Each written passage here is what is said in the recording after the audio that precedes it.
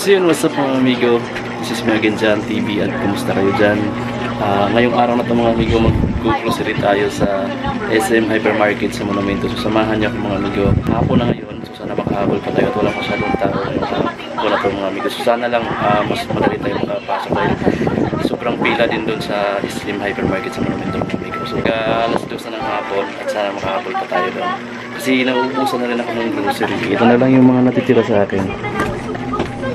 Yan. Ito na lang yung slice bread ko. And then meron akong saging na saba. Ito yung kiso. Ito naman yung star margarine. So yan na lang. Kaya kailangan natin magdagdag na grocery para meron tayong magamit from Monday to Friday. At Sunday ngayon mga amigo. Huwag natin kalimutan magsuot ng face mask para dito. So ready natin to para hindi tayo kalimutan. And then konting amount ng alcohol mga amigo. So yan. Na bumili ako ng ganitong lagayan worth 15 pesos para pang spray. Kasi maganda ito mga amigo. Spray spray mo na siyang ganun. Alcohol yung laman nito. So kumuha lang ako ng konti mula dito sa pinakamalaking uh, stock ko. Yan na lang nag-iisang stocks ko ng alcohol eh. Tapos mask. And then ang pinaka-importante sa lahat para makalabas ka ng barangay mo at makabalik ka. Tsaka makapasok ka sa supermarket kasi kailangan hinahanapan ka ng barangay quarantine pass. Kailangan. Ipapasok lang natin siya. So, ayan. Kailangan natin ito mga amiga. So, ito yung EITF na ID ko. And then, kung mayroon ka nito, yung ibang supermarket naman nagpapapasok ka kapag pinakita mo to. Pero may ibang hindi. Kaya kailangan mong dala ulit ito. Ayan. Ito yung barangay quarantine pass na parang gate pass natin para makalabas tayo at makabalik tayo ng barangay. na So, tara. Kaya nga tayo. So definitely uulitin ko na to.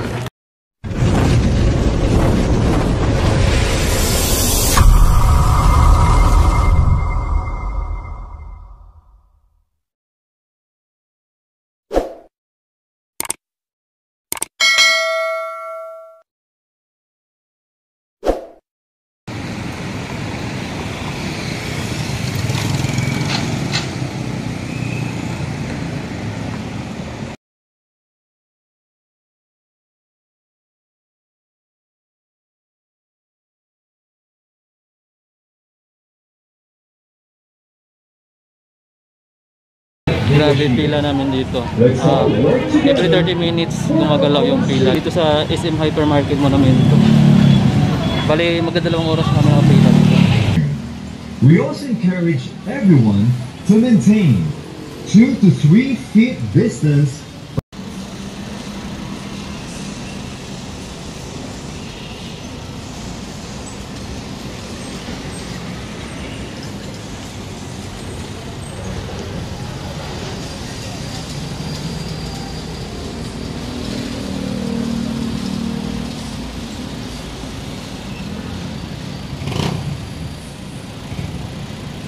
Grabe pila dito pag may Ah, medyo mahaba pa mula dito sa Hyper. Papunta doon sa Fleetwood yung pila. the entry of Yan, customers. Rest assured that we have Pero mahaba yung pila dito. Kaya mahirap mamili. Dapat lamihan nyo na.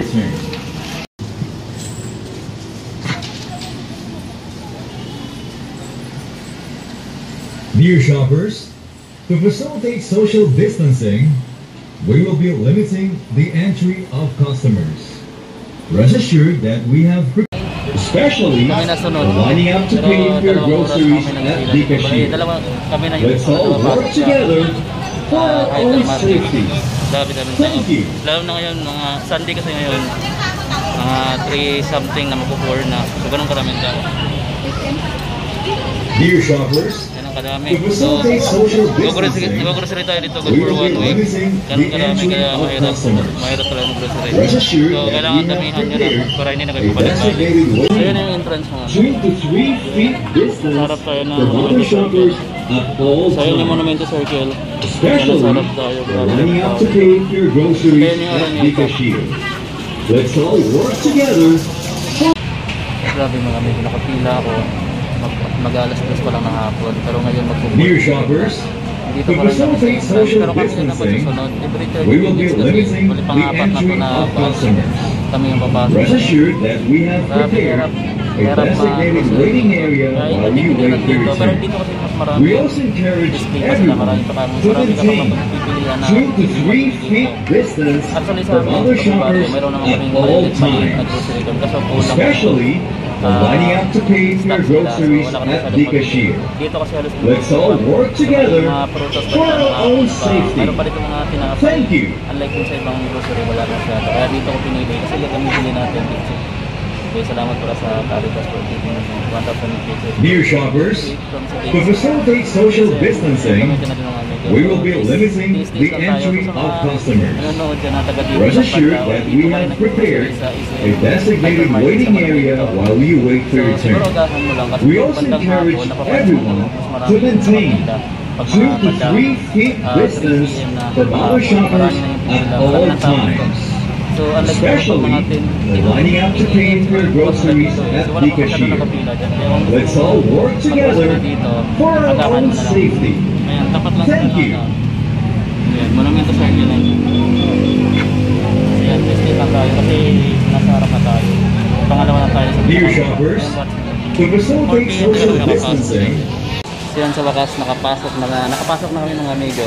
Ah, eksakto talagang alas 4 ng hapon. So dalawang oras kami naghintay. Ito kasi gagamitin ko. oh. Itong Sodexon na gift check worth 1,000 pesos. Maraming salamat pala sa Caritas Manila for giving me 1,000 worth of Sodexo gift.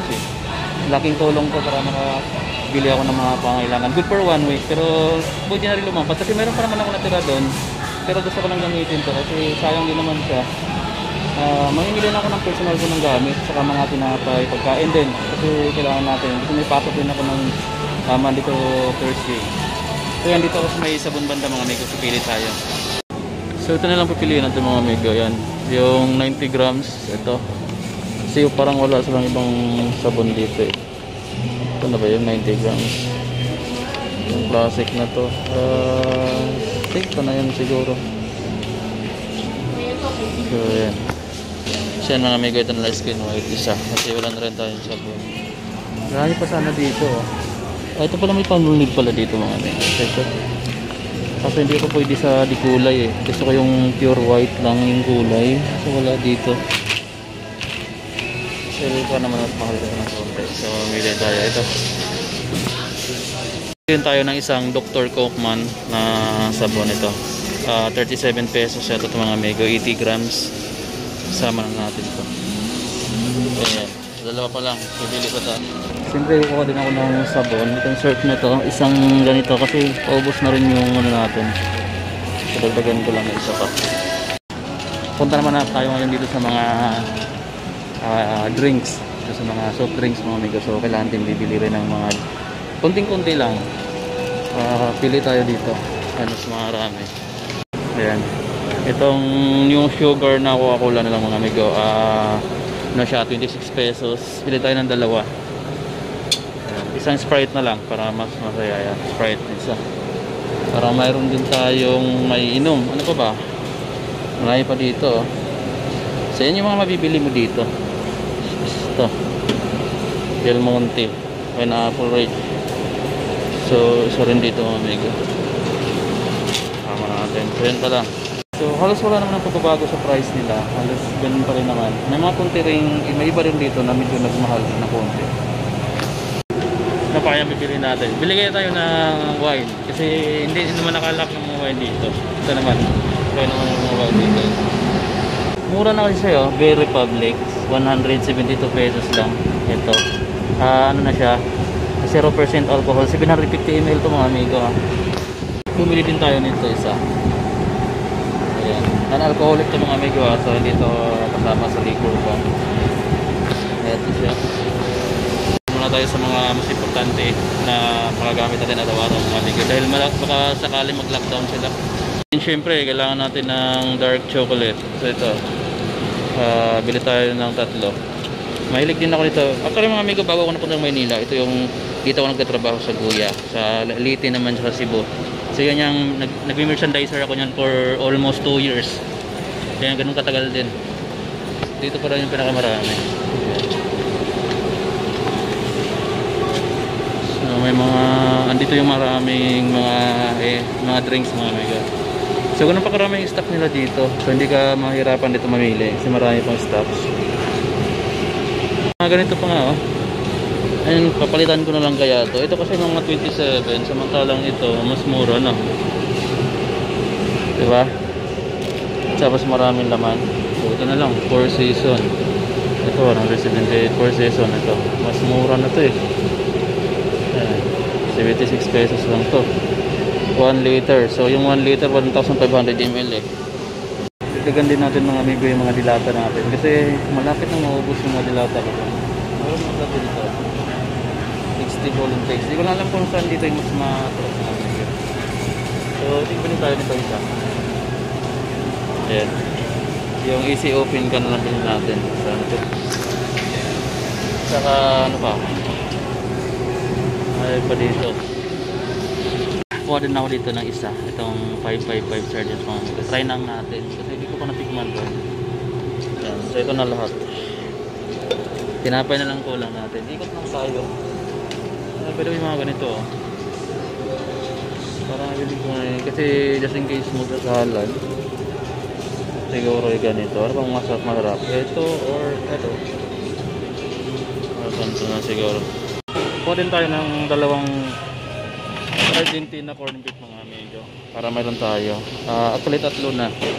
Para may stock tayo sa bahay. Kasi ito yung favorito ko rin eh. So yan, marami-rami na rin tayo nabili. So I think hindi pa ito abot ng isang libo. Mga amigo, di ko lang alam mo ganong price nito. Meron kasi dito eh. Baka ito. Ayan. So wala na ibang tinapay eh. Ito na lang. So yun na lang oh. Ito na lang bibili natin mga amigo. Sana masarap to kasi first time ko man to. Then mga apple. Ito marami pang apple. Ito siguro bili tayo na isa dito mga amigo. Ito yung mga tag 100 plus eh. Para meron tayong matitikman. Dito na lang. Kaya natin bili na isa. Okay lang ba to? Ito na lang. Uh, wala naman siguro siyang sira eh. Masarap to, amigo. Marami ako dito mamipili. Ayan. Ayan. So ito na lang mga amigo isa. Okay. Dahil mga amigo ha, actually hindi pa pala ako nag-lunch. Inuna ko kasi dito. Ak- Akala ko kasi mas madali lang ngayon. Hindi masyado matao. Pero yun pala nagkamali ko. Ah, bali, wala tayong lunch ngayon. Direct na tayo hap- hapunan dito kumaya. Pag uwi natin sa bahay. Mag-alasing ko na rin yun ng hapon eh. Tingin ko para din nito. Uh, pasit canton tatlo. Kasi naga, naga, nagamit ko na yung tatlo ko doon mga amigo eh. So, dapat mayroon ako stock din kasi paano. And then, yan lang muna mga amigo. Oh. Sumunod yung marami-rami na to. Siguro abot ito ng isang libo. Yan. Doon na lang tayo bibili sa palengke. Maraming mga stock. So, walang problema sa mga karne dito. Marami. Ah, asukal pala. Bili tayo ng isa asukal. So, dito na asukal dito. Brown sugar. I think ganito na lang. Isang white sugar mga amiga. Ito, 1 half kilo. Para, ayan, may maximum of 4 tubes lang per customer yung pwede nyo bilhin. Ah, dito sa SM Hypermarket mo na meron. So yan mga amigo, ah, okay na to. Ayan, uh, marami-rami na rin pa nakabayad ko. So yan tayo sa bumalik na tayo sa counter. Tara.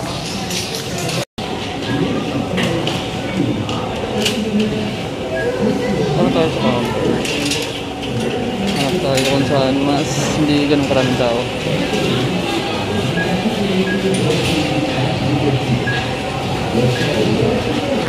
Dito tayo.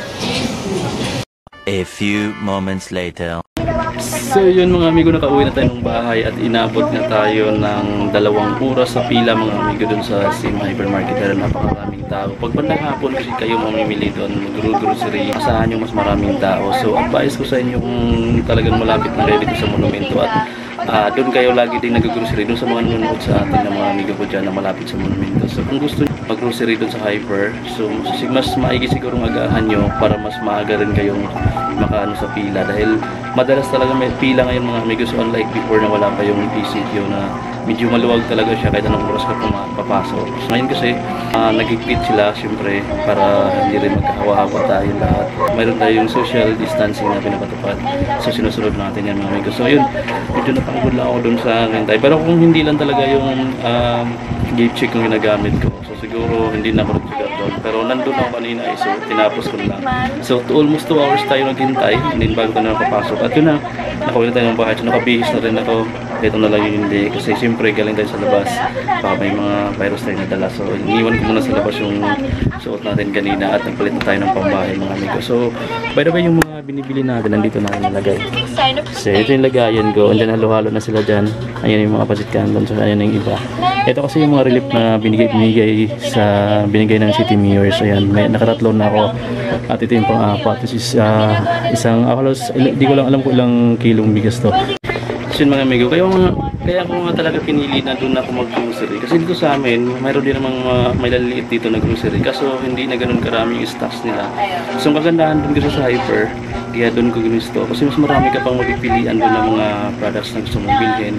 Makakabili ka rin ng mga apple doon, mga prutas doon, marami sa loob. Unlike dito sa amin, medyo may kamahalan din ng konti kumpara doon. Hindi bago na tapusin yung vlog na to, gusto ko muna i-shoutout yung mga nagko-comments dito sa comment section ng YouTube channel natin mga amigo. So yan, ito yung mga amigo natin na nag effort para mag-comment or para manood ng videos mo. Pero medyo madilim yung ano, gagamit ako. Ito yung ito yung power bank ko ng Jaguar mga amigo. So gagamitin ko siya bilang ring light natin kasi medyo madilim yung buka dun eh. So yan, ganyan sa kaliwanag. Lagay natin dito sa ilalim ng tripod. So, so yan yung parang ring light natin. Medyo masilaw na lang siya mga amigo. At ito yung mga ah, amigo natin na nag-message dito sa comment section ng videos natin. Shoutout ko lahat dito, mga ba- basher, mga, basta lahat na madadaan ko dito sa comment section. So, unang-una dito, bago, bago lang siya nag-comment, si Rolando Mueblas ng Tubigon Bohol. So, shoutout sa iyo bro. Ah, at yan, nagpapa-shoutout nga siya from Tubigon, Bohol. So, isa rin na Bisaya. Ah, nakapunta na ako ng Bohol para sa Tag uh, Tagbilaran siya sa Carmel. Shoutout sa inyo dyan sa mga Bohol, uh, Boholanan. At tapat lang tayo, late rin ako mga bro. So, yan. So, pangalawa si Kuni Ong. So, yan. Gusto doon yun yung mga products na siya sa mga ibang videos natin. And then si Mr. Palaboy TV Vlog. So, yan. Ah, nice one, Lodi. Yan yung message niya. So, shoutout sa iyo bro. At din kay, kay Timo Timo. Ayan, sa mga subscribers natin. And then kay Chris Wobsida, Wobsinada. So, ayan. And then, Happy Happy pala, I mean. So, ito pa yung isa, Craig Gaming YouTube. So, ito lagi itong nag-message sa atin. So, lagyan natin ng, syempre, i-like natin. And then, lagyan natin ng heart yung mga mga comments sila kasi siyempre nag-i-report yan sila mga amigo eh. so yan so, eh, so kung gusto mo rin po shoutout uh, comment ka lang sa mga videos natin kasi uh, isa-isahin natin yan. Nandito pa kay Ron Capuita so yan lang natin ng ano. And then kay Blix X. So yan isa sa mga sulit nating subscribers. And then kay Ima Abrina so shoutout sa inyo ma'am. And then kay Chinitong di Koreano Vlog. So yan I think vlogger din to kasi yan may mga vlogs talaga yun sa message niya. And then kay Mara Kutan Mara Kutanda so yan. Shoutout sa inyo. And then kay Mark Joseph Tolentino so yan. Kay Kulot, Bay Kulot Bayan James Sibug so yan. Shoutout sa iyo bro. Kay Moni Makachors. So yan. Ganda naman pangalan nila dito so lagyan nila natin ng mga heart saka like yung comment nila. And then kay Eduardo Layo. So yan bro. Shoutout sa iyo bro. And then kay Dr. Virus Kiss. And then ito. Kay Miss NPTV and kay Love to Inspire PH shout out sa'yo. And then kay Bibo.com so shout out sa'yo. And then kay JD Panganiban. Shout out kay Rixpool TV so shout out sa'yo bro. Kasi yung isa rin dito sa mga vloggers din from Southern Liti mga amigo uh, particular. I think sa Maasin so, so isang Bisaya. Isang kalugar ko rin kasi galing din ako sa Maasin Southern Liti. And then galing yung karamihan sa mga mag-anak ko so, yan. then kay Miss Winnie Makabundo and then kay Kevin Court Kalayaan Hector Gania. So ito isa sa mga katrabaho office mate ko sa so shout out kay Hector Gania. So sa mga katrabaho ko dyan na lagi nag-comment din. And then kay Chris Albert Bungasya mga amigo. So yan sa ngayon mga amigo yan lang muna.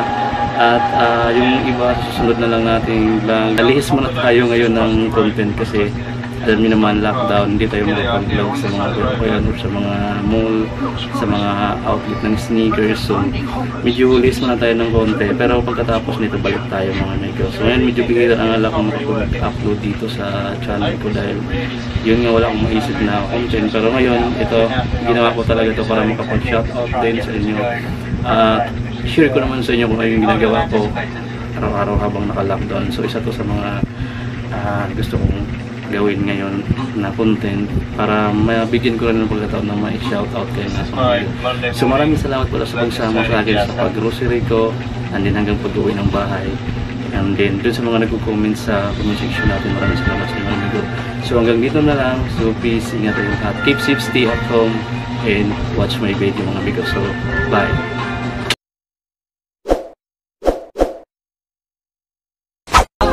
At the system, it's simply how we've existed. I hear a lot of people talking like they